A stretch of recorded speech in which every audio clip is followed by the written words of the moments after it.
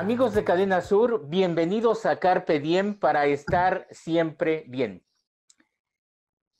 Y en esta noche de miércoles vamos a hablar de un tema que tiene que ver con nuestros seres queridos ya mayores. Aquí tienen ustedes el tema en pantalla. Envejeciendo con dignidad. ¿Y qué significa esto de el envejecer con dignidad? ¿Qué es lo que un adulto mayor eh, debe de hacer? ¿Cómo debe de concebir esta etapa? ¿En qué circunstancias? ¿Cómo la gente que lo rodea debe de apoyar, debe de, dar este respaldo a este sector de la población? Bueno, pues para hacer un análisis profundo de esta situación, está aquí con nosotros el médico militar, profesor investigador, doctor en ciencias, Iván Martínez Dunker. Y lo saludamos hasta la ciudad de Cuernavaca a través de esta videollamada. Doctor, ¿cómo estás? Bienvenido a Carpe Diem. Hola, muy buenas noches, ¿no? Pues bienvenido, gracias por eh, darme este espacio, un gusto estar siempre contigo, con tu gran programa y por supuesto con tu auditorio para hablar como claramente lo señalas de un tema tan importante como es el envejecimiento. Sí, doctor, porque una cosa es envejecer, pero otra cosa es envejecer con dignidad. Háblanos un poquito de eso, por favor, doctor. Mira, el envejecimiento es algo que inicia desde que nacemos. Desde que nacemos nos acercamos a nuestra muerte. Día a día, pues vamos avanzando hacia, ese, hacia esa etapa del final de nuestra vida. No todos llegamos, todos esperamos querer llegar a, esa etapa que es la vejez, ¿no? Y que podríamos ver como esa etapa después de los 60 años. Eh, pero el envejecimiento es algo que inicia el primer día de vida. Eh, lo notamos, no es lo mismo caerse a los nueve años que caerse a los 20 o caerse a los 50. Nuestro cuerpo ya no se repara igual, así estamos programados. Eh, pero la dignidad, el amor propio en ese envejecimiento de nuestro cuerpo desde que nacemos y hasta esa última etapa que es la vejez, tiene que ser un proceso en donde haya dignidad, en donde haya amor propio y cuando hablo de amor propio, puede ser muchas cosas, pero básicamente quisiera hacer referencia a ese autocuidado de nuestra salud física, mental, nuestro bienestar de forma integral, porque al final si no hacemos esos cuidados desde que nacemos, desde que nos los enseñan, desde que los vamos aprendiendo a lo largo de la vida y reforzándolos con conocimiento, pues al final vamos a pagar el precio. Cuando lleguemos a esos 60 años de vida, ojalá todos lleguemos, eh, que ya seamos, que estemos en esa etapa de la vejez, pues que lo hagamos en las mejores condiciones que estuvieron bajo nuestro control, pero eso lo tenemos que hacer, pareciera un poco dramático o de pronto que no lo podemos dimensionar, pero el llegar a esa vejez con dignidad significa el tener una vida desde que nacemos en donde nos acompañe el amor propio y la dignidad. Entre más descuidemos eso, cuando tenemos la abundancia de la juventud, entre más la descuidemos y más pasemos la factura a nuestro cuerpo, el precio que vamos a pagar cuando lleguemos a la vejez va a ser mayor.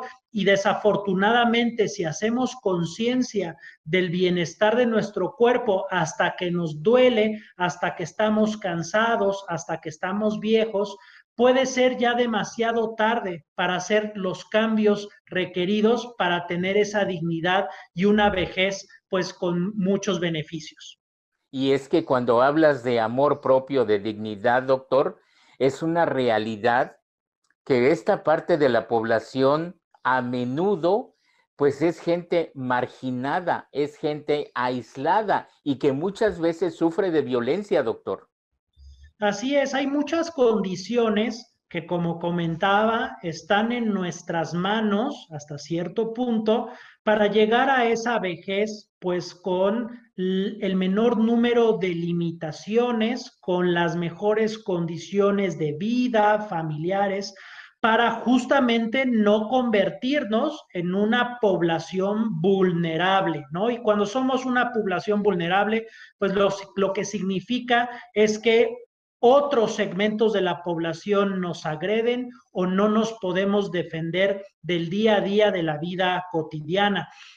Entonces, ciertamente hay cosas que nos toca hacer para llegar lo más fuerte posibles a la vejez, pero también muchas cosas que a la sociedad en general nos toca realizar independientemente del grupo de edad en el que estamos para dar esa fuerza a los adultos mayores para que justamente no sean vulnerables. Actualmente uno de los grandes problemas es que eh, la vejez en muchas de nuestras sociedades, comunidades, sigue siendo un sinónimo de marginación, un sinónimo de un individuo que se va diluyendo, que se va recluyendo, que es aislado, a quien se le imponen cargas de cuidados que no le tocan eh, y sobre todo de alguien que más que participar activamente en la comunidad, es alguien que ahora tiene que empezar a obedecer a los hijos,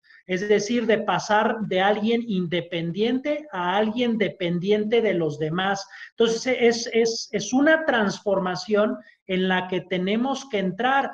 Tenemos que entender que los grandes avances científicos y tecnológicos han incrementado la esperanza de vida hace 60 años, tal vez llegar a los 40, 45 años de vida ya era un logro, pero ahora la esperanza de vida, lo que podemos aspirar de forma normal es llegar a los 65, 70 años, dependiendo si somos hombres y mujeres. Generalmente las mujeres tienen una mayor esperanza de vida. ¿Esto qué significa? Que nuestras sociedades están envejeciendo, están, eh, hay un mayor, cada vez un mayor sector de la población que es viejo, que es un adulto mayor. Y, escuchen esa palabra viejo, todavía lo asociamos cuando lo escuchamos como algo peyorativo. No queremos llegar a ser viejos. El decirle a alguien viejo es incluso a veces un sinónimo de ofensa cuando no tiene por qué serlo. Es una etapa natural de la vida que tiene muchos privilegios, que tiene mucho que aportar,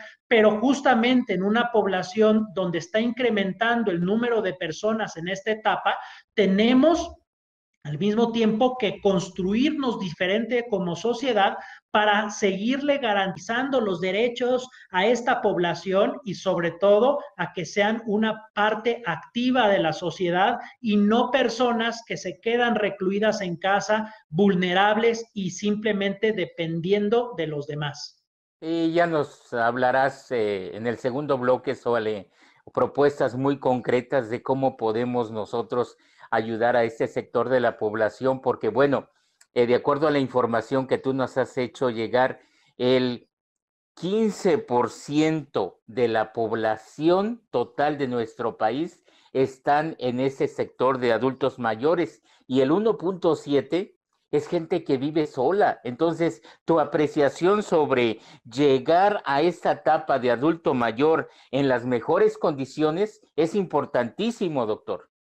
Sí, es algo muy importante, como bien lo mencionas, aproximadamente 15 millones y medio de mexicanos son personas adultas mayores, es decir, por arriba de 60 años, y hay varias condiciones, tanto gente que vive sola, y también, por supuesto, y que es comprensible, una buena parte de esta población con respecto a poblaciones más jóvenes, pues tiene también un mayor grado de discapacidades o limitaciones. Eh, entonces, tenemos que ver cómo cuando lleguemos a esa etapa de vejez, llegamos en las mejores condiciones y eso es algo que desde que nacemos tendríamos que aprender, no nos enseñan a envejecer. Nuestra juventud muchas veces nos la comemos, la quemamos y no cuidamos la juventud y el cuidado de nuestro cuerpo, el amor propio, el bienestar que nos acompaña hasta que lleguemos a esa etapa de la vejez. Y hay mucho que hablar al respecto de eso. Amigos de Cadena Sur, está con nosotros el profesor investigador, el doctor en ciencias, el médico militar Iván Martínez Dunker y nos está hablando de este tema que tienen ustedes en pantalla, envejeciendo con dignidad. Qué importante es para que nuestros adultos mayores lleguen a esta etapa de su vida, pero lleguen en las mejores condiciones. Vamos a hacer una pausa y regresamos en breve aquí en esta noche de miércoles de Carpe Diem para estar siempre bien.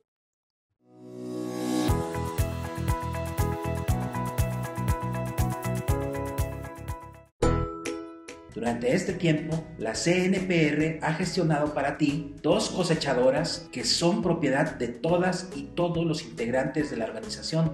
Construimos una bodega para biofertilizante que producimos para ti.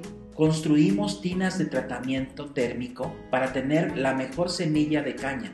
Amiga y amigo productor, la CNPR es para ti y tu familia, no para bien de otras organizaciones sin identidad. Somos transparentes, somos leales, somos CNPR, siempre trabajando por ti.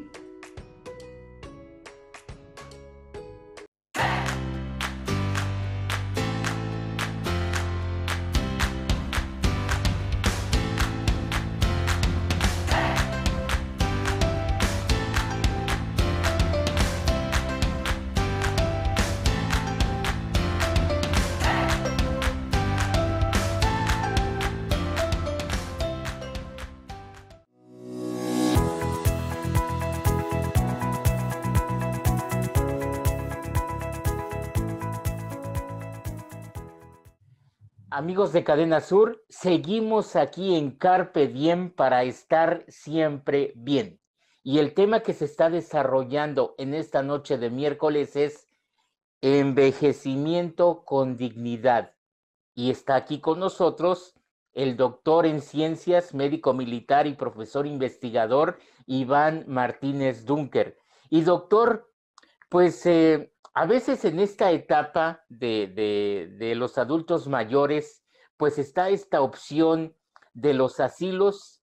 Eh, yo creo que muchas veces la familia es como la que toma la decisión de llevarlos a los asilos. No sabemos si es como para liberarse de una carga.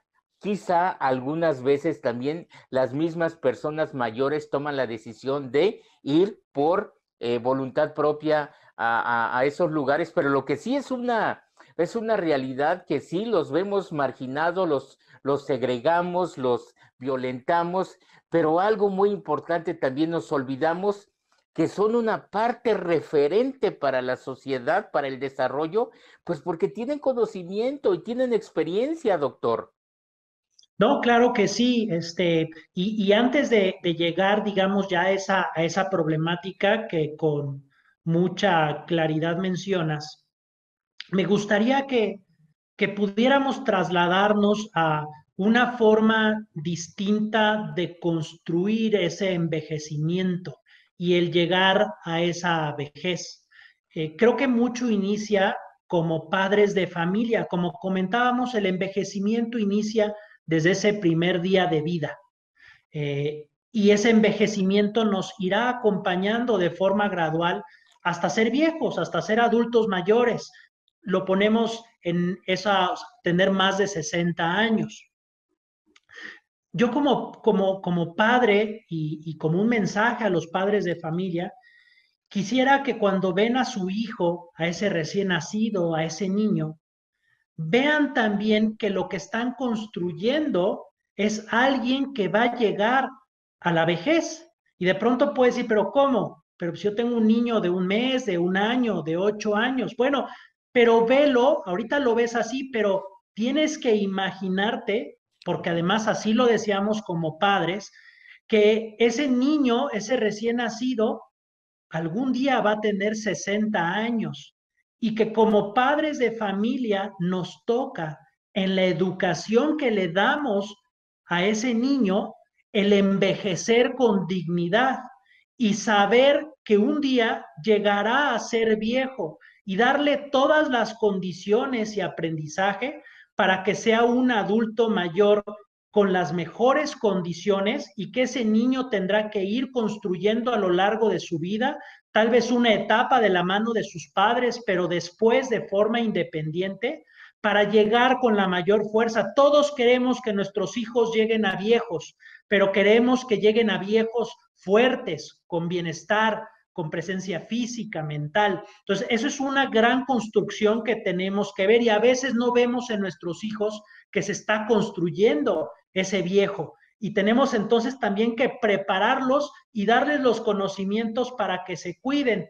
Una de las grandes eh, dificultades de la etapa de la vejez pues es justamente llegar con debilidades, con limitaciones. Sabemos que si al final somos una población vulnerable es porque no tenemos la suficiente fuerza. Así que lo primero que como sociedad tenemos que hacer es construirnos a lo largo de la vida para llegar con la mayor fortaleza a los 60 años. Así nos podremos defender de quien sea, pero si no nos cuidamos a lo largo de la vida y lo que cultivamos fueron vicios y la destrucción de nuestro cuerpo, pues llegaremos con menos fuerza y se aprovecharán de nosotros. Entonces lleguemos con fuerza y una vez que lleguemos a esa etapa, pues como ocurre en otros grupos, tenemos que organizarnos. Algo que le hace falta a nuestra sociedad mexicana es una organización proactiva y que entonces esa inercia cultural en donde pues ya tienes 60 años, ya te jubilaste, vete a tu casa, no te queremos, vete,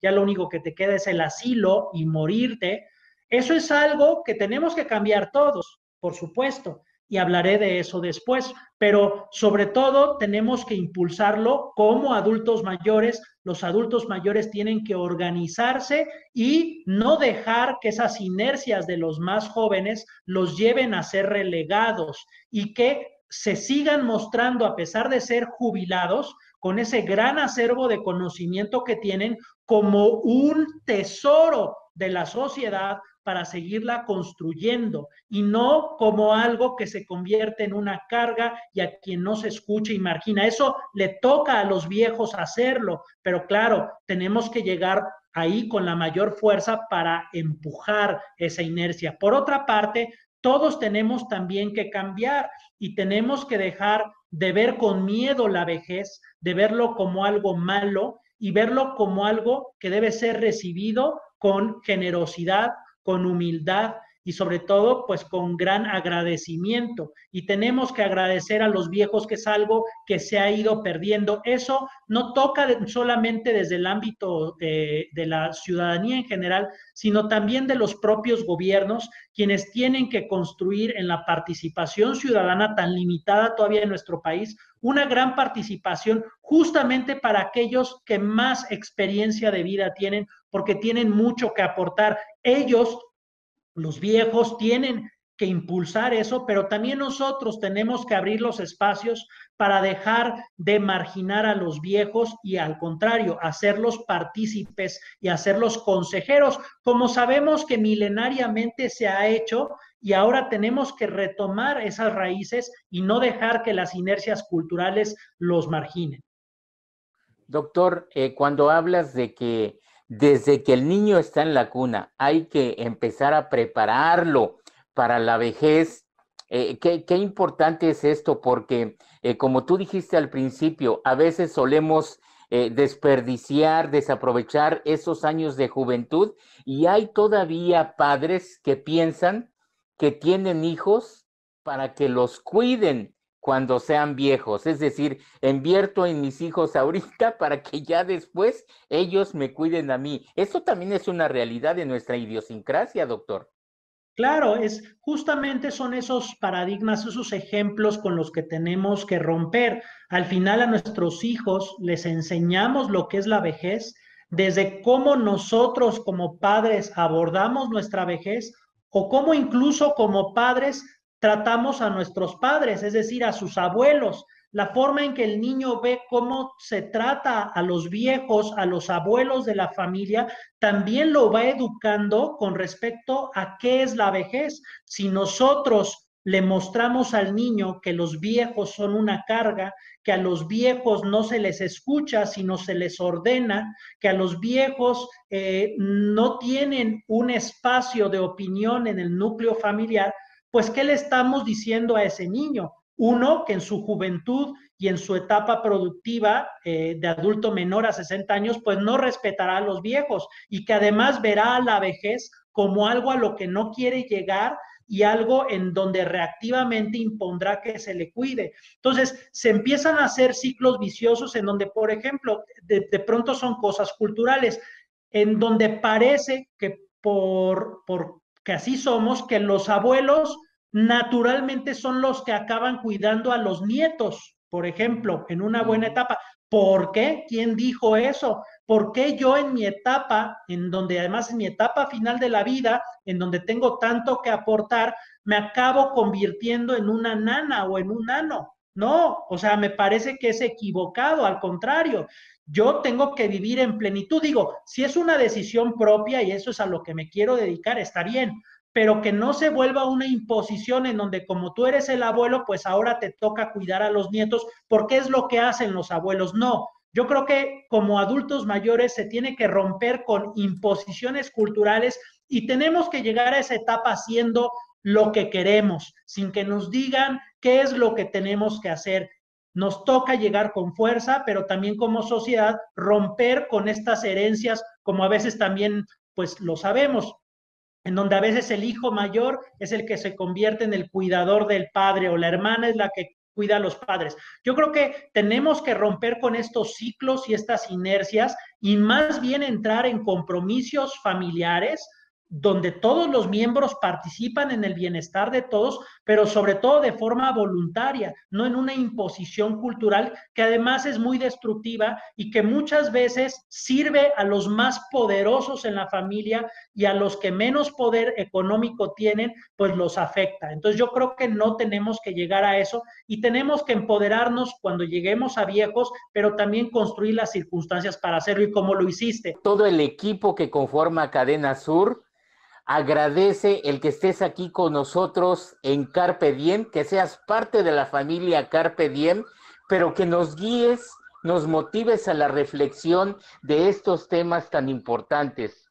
Bruno Jiménez en los controles, mi compañera Paula Loza, mi compañero eh, Oscar Davis, mi compañera Janet Basurto, tu servidor y todos bajo la coordinación general de nuestro compañero Evaristo Torres Ocampo te agradecemos que, estés acá y cómo te gustaría despedirte en este Carpe Diem de miércoles, eh, hablando eh, a manera de conclusión, de reflexión final en esto de la vejez, doctor.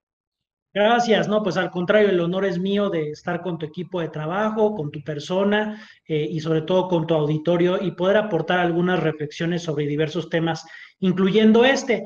Y bueno, lo que me gustaría compartir o dejar de, mensajes clave para llevarse a casa. Primero es que día a día, desde que nacemos, lo que hacemos, lo hacemos para construir nuestra vejez.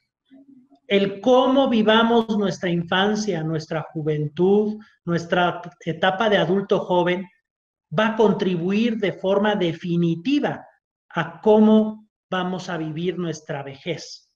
No podemos atender la vejez, no podemos atender el envejecimiento hasta que somos viejos. Si hacemos eso o esperamos eso, estamos perdidos.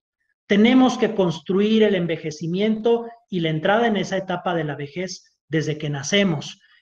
Una buena parte de eso será de la mano de nuestros padres que nos tendrán que educar para ello, para aquellos padres de familia construyan desde el día de hoy en sus casas el enseñar a sus hijos a abordar de una forma positiva y constructiva su envejecimiento y a la vejez.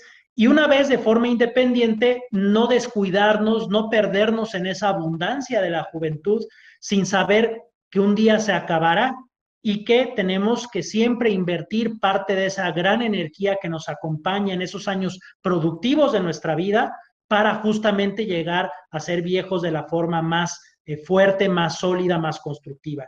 Y un segundo mensaje muy importante es, bueno, ya cuando estamos en esa etapa de adultos mayores, eh, en las que queremos llegar en las mejores condiciones, el de buscar eh, de forma individual y colectivamente el empoderarnos en la sociedad. Al final hay una inercia que se tiene que vencer y en donde tenemos que pasar de ser un adulto mayor marginado a un adulto mayor eh, activamente participando en la construcción de distintos aspectos de la sociedad.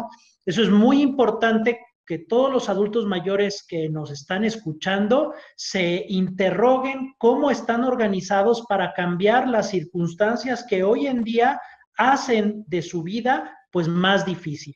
No hay ninguna razón para que como adultos mayores estén dispuestos a sacrificar los derechos y no requieran de los beneficios que el haber aportado a lo largo de tantos años a la sociedad, pues ahora merecen ser el usufructo de cualquier persona que está en la etapa de la vejez. Por otra parte, eh, como sociedad, tenemos también que interrogarnos el lugar que le estamos dando a los adultos mayores, cambiar todas esas eh, prejuicios, esas construcciones culturales en donde quien es viejo, quien es adulto mayor, es alguien que está relegado, marginado, quien no participa. Tenemos que transformar todo eso, no solamente por ellos, sino también porque nosotros vamos a llegar a esa etapa y con el ejemplo tenemos que mostrar la forma en que también nosotros quisiéramos ser tratados cuando seamos adultos mayores. Entonces, creo que con estos dos mensajes podemos englobar distintos aspectos que nos permitirán contribuir a fortalecer una sociedad que tenga a los adultos mayores como su más grande tesoro de conocimiento y de construcción para una sociedad moderna, organizada y sobre todo democrática. Doctor, muchas gracias. Al contrario, muchísimas gracias a ti por el espacio y a todo tu auditorio. Carpe diem, para estar siempre bien. Nos vemos en la próxima emisión.